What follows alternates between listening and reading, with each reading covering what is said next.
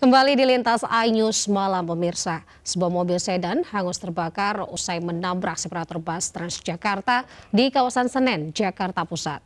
Ironisnya dua orang di dalam mobil tewas di lokasi.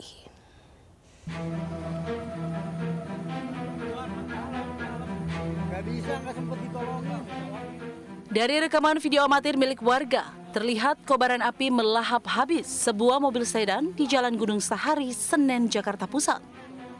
Api dengan cepat membakar seluruh bagian mobil.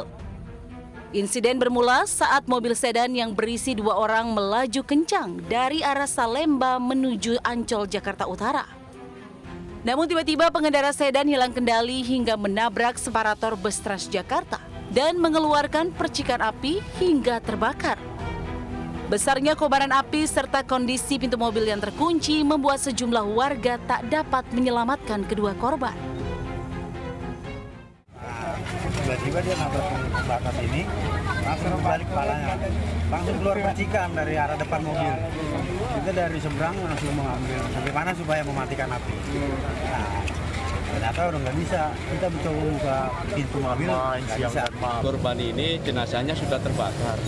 Jadi sudah lengket dengan barang-barang yang ada di mobil seperti jok dan yang lainnya. Jadi kita perlu hati-hati untuk pengangkatan korban itu tersendiri ya. Makanya memang agak lama kita supaya dapat korban secara utuh, tidak ter, terpisahkan seperti itu.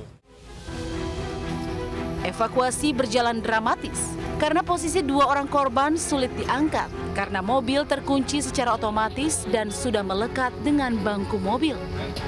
Petugas terpaksa merusak pintu mobil dengan menggunakan alat berat agar dapat dibuka dan mengangkat jenazah korban. Dari Jakarta, Rio Manik, iNews melaporkan.